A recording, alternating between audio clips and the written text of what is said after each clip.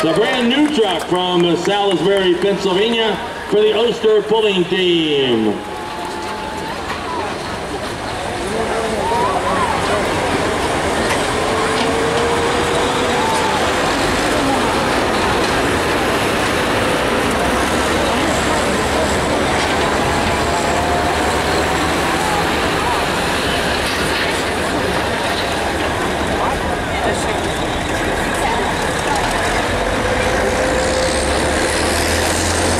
284 on that run by Geronimo. 284 for Hank Oester. 284.